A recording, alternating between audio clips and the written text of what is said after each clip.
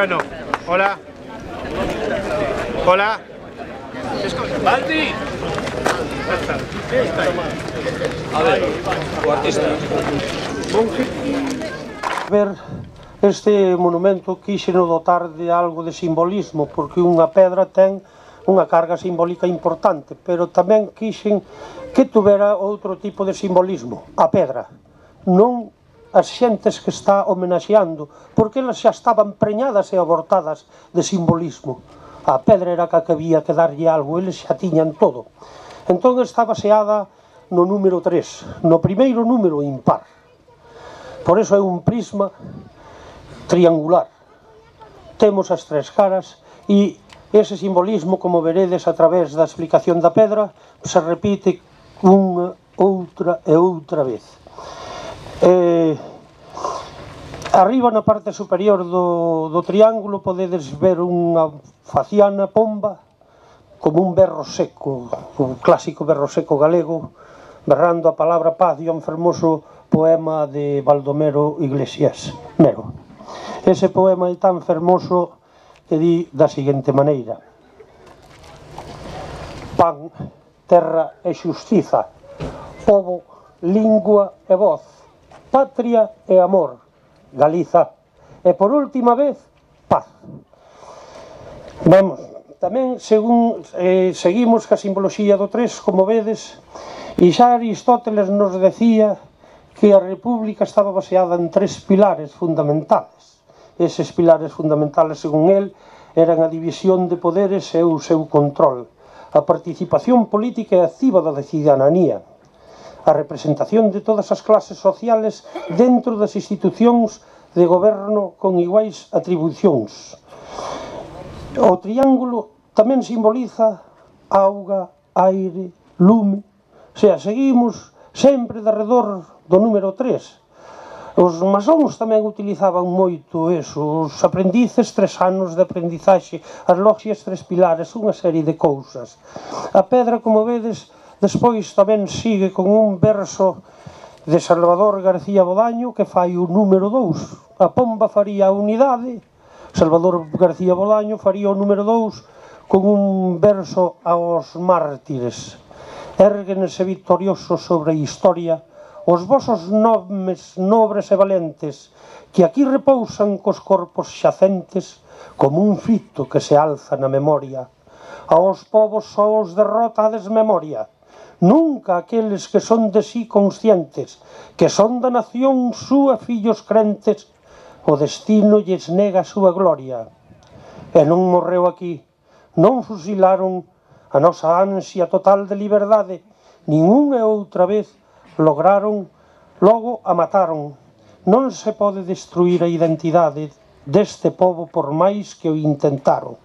Non se pode matar a realidade, Doutra volta aquí estamos renacidos en esta loita irmán nunca vencidos. E para seguir e terminar, para que isto non se faga moi largo, eu quero facer unha reflexión. Primeira República temos a unidade, na segunda temos o número 2, e se todos xuntos sumamos, faremos a terceira República. ¡Viva a República! ¡Viva! Gracias a todos.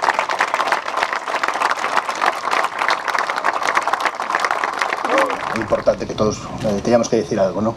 Neste momento, ademais. Bueno, estou aquí en calidade de, eso, de coautor, xunto co, co meu compañeiro Eliseo Fernández, eh, dun traballo de investigación. Agradecer para todos eles, evidentemente, o esforzo que está personificado en min, pero aquí neste momento, pero que, eh, dende logo, é un traballo moito máis amplo, moitísimo máis amplo. Eh, non quero evidentemente alargarme na cuestión do, do proxecto de investigación ou da investigación que tedes eh, xa está repartida está para todos vós porque un dos propósitos evidentemente era a divulgación dos feitos e creo que ese propósito eh, está conseguido eh? Eh, o que sí quero decir eh, son dúas ou tres cousas eh, moi breves eh, xa, xa, xa vos insisto primeiro, que a realidade de, das fosas en Galicia en España segue sendo unha realidade 75 anos despois como xa sabedes, ou máis alá eh, que toda Galicia e toda España segue espallada eh, de fosas e que é unha situación que creo que a este Estado de Dereito eh, cada vez lle convén menos. Eh, a segunda das eh, cuestións eh, que a segunda das cuestións, e a última que quería decir para, para rematar, é que mm, toda a sociedade ten que recoñecer o seu pasado, pero ten que recoñecer o seu pasado e asumilo, malo ou bon.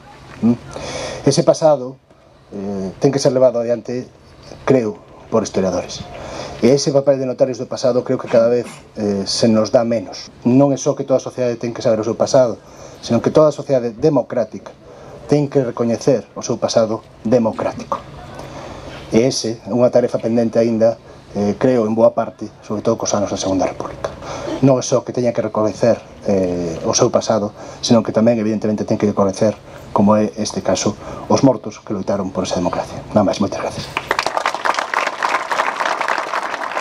Cortella, natural de Cee e eh, criada en Corcubión, logo mestra de Monelos, nai de dous nenos e esposa dun sindicalista fusilado en 1936, que foi secuestrada na Coruña e asasinada e arrebolada ao río Mandeu na ponte da Castellana.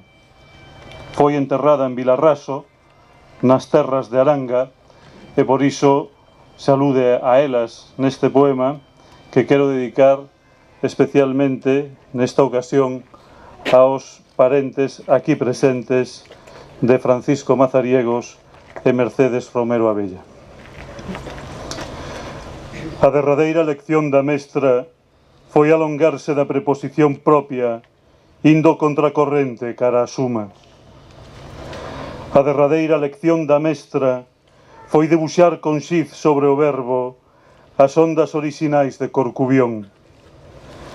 A derradeira lección da mestra foi a primeira clase obreira na súa escola laica de Monelos. A derradeira lección da mestra foi amar no prisma da Coruña e enxentrar planetas e cadernos. A derradeira lección da mestra foi metrallada nas terras de Aranga, escritas no Montes do Gato, a clorofila e a fluvial regra de tres nos afluentes, libres como a libros pola serra da loba. Ela daba leccións de humanidade e nunca esqueceremos consonantes a derradeira lección da nosa mestra. Moitas gracias.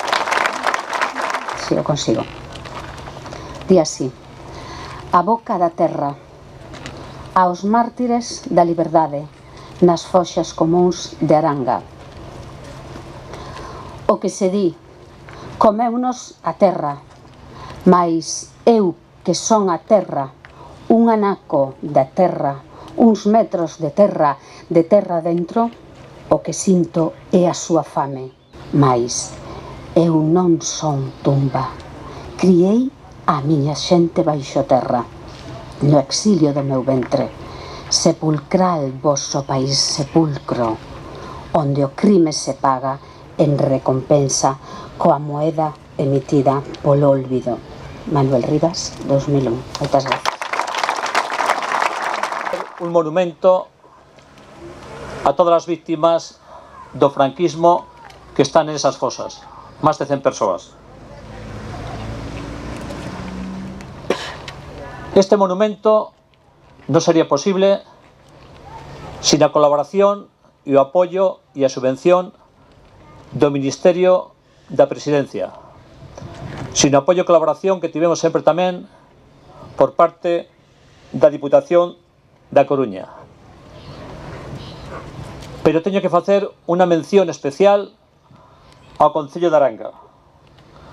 Aranga está hoxe máis que nunca no mapa.